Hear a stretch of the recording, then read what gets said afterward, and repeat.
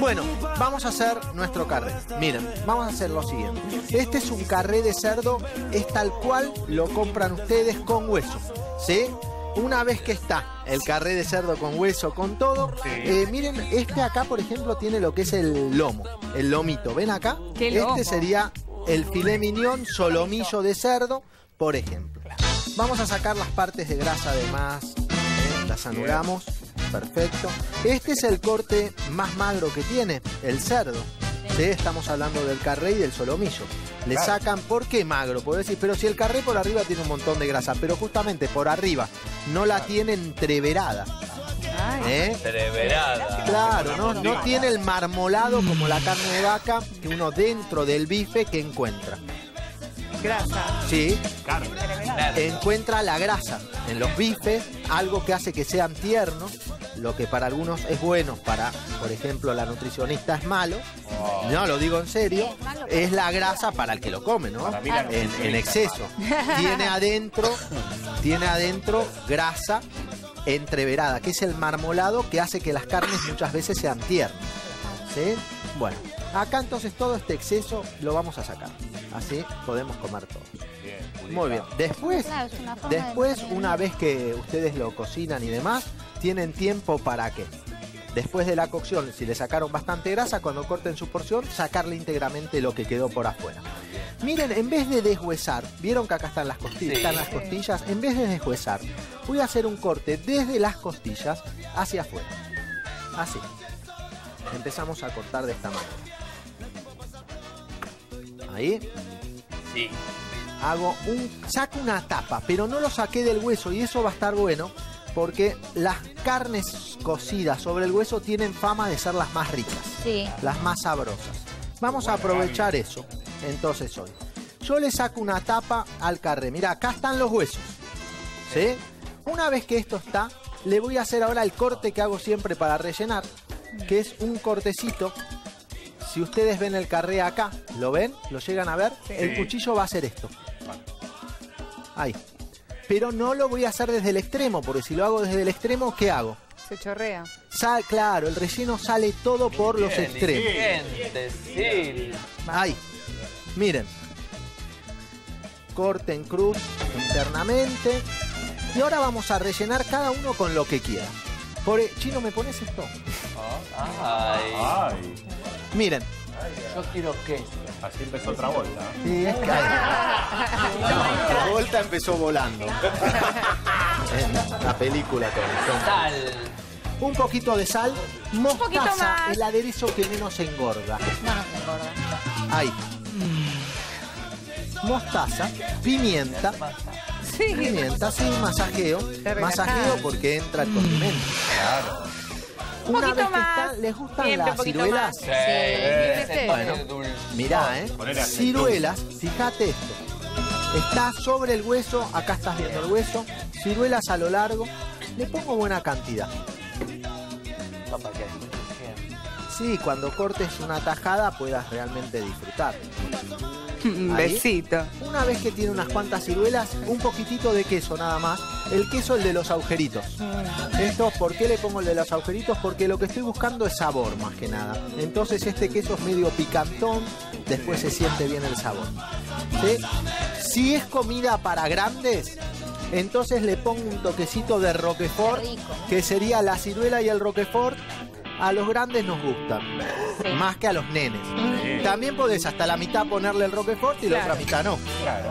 Sí, punto. Entonces, más que seas grande, chico, te gusta o no te gusta el Roquefort, todos están contentos. Ahí está.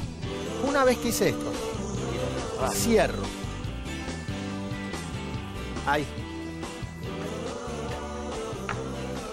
Ahí.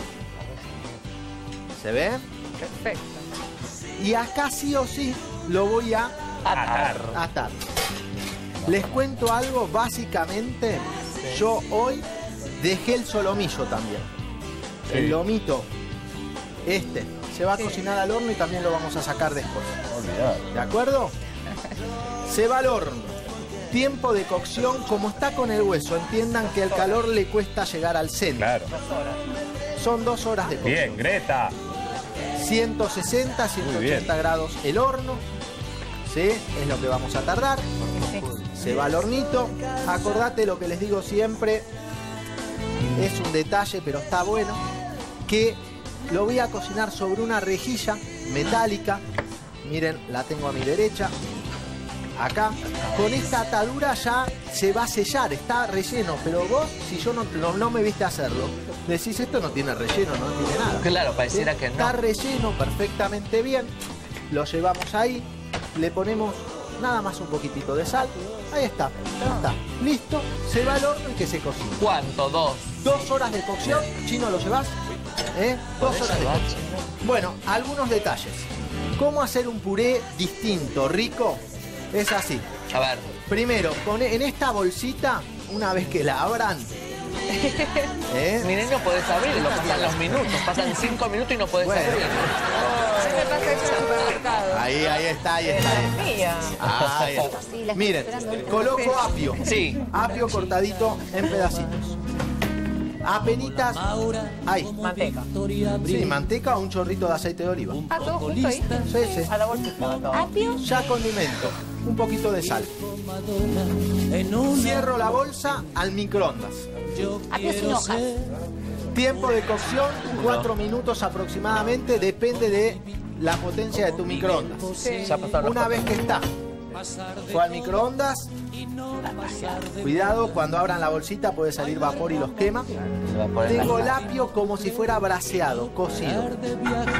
Es muy rico, el apio una vez que está cocinadito, larga, tiene olor a nuez. Tiene un sabor a nuez. Ahora acá, miren, hice un puré de Apio.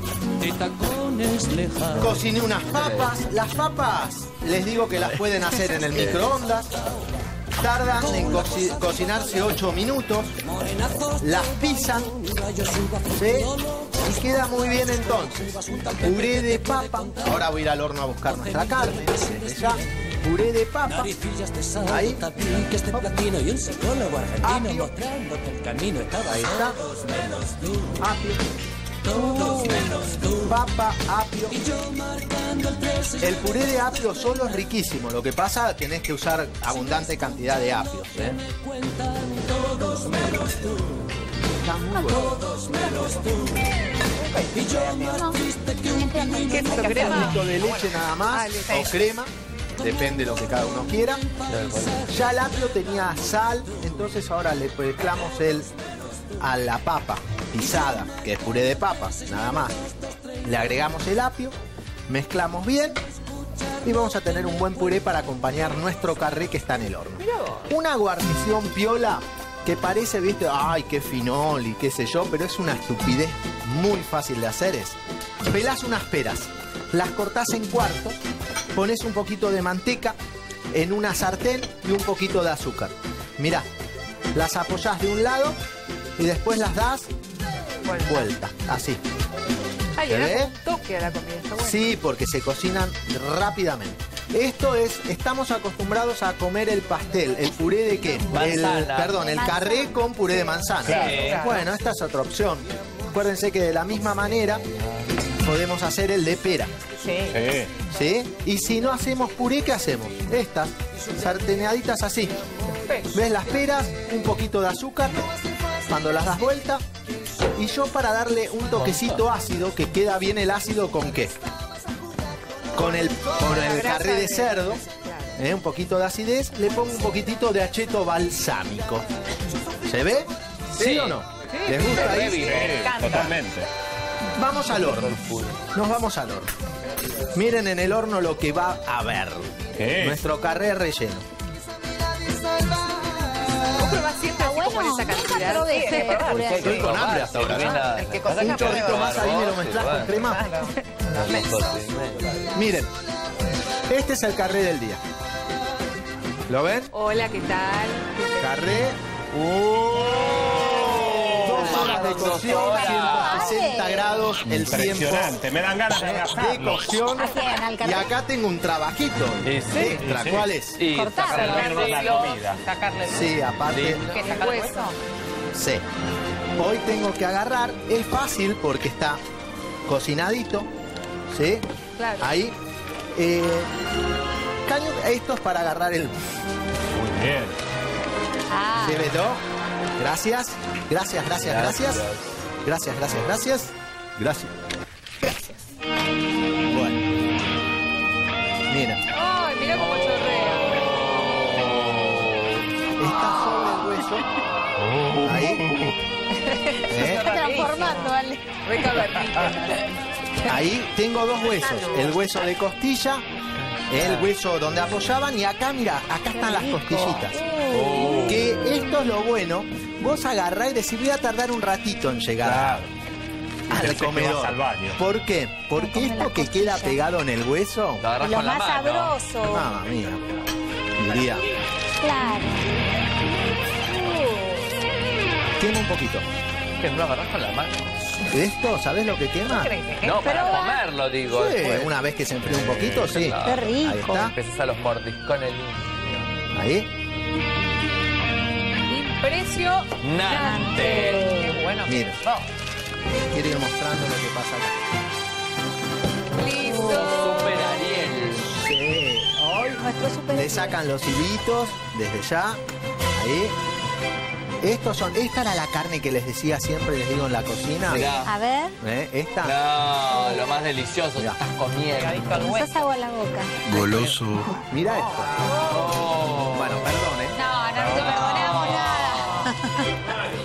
Con pillares. tengo que degustar.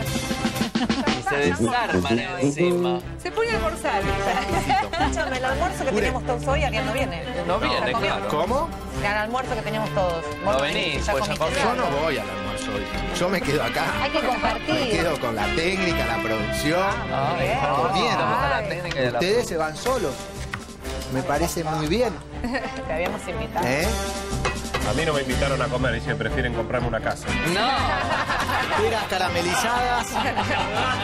¿eh? Para acompañar nuestro plato. Miren, fíjense. Oh. Relleno. Seis pedacitos de estos. ¿eh? ¿eh? Bien cocinadito. Esto es Bien. muy rico. Esto lo hizo Ariel Rodríguez Palacios.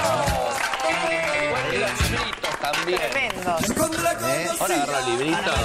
De cerdo y... Libritos. Hoy tenemos carré. No, Le puré, ponen ensaladita. una ensaladita alrededor. Genio. De Comer brotes. hasta que Black aparezca Y bueno, platinado. mientras que hoy los chicos Tremendo. se van a comer, nosotros No, nos nos quedamos con la técnica eh, comiendo acá.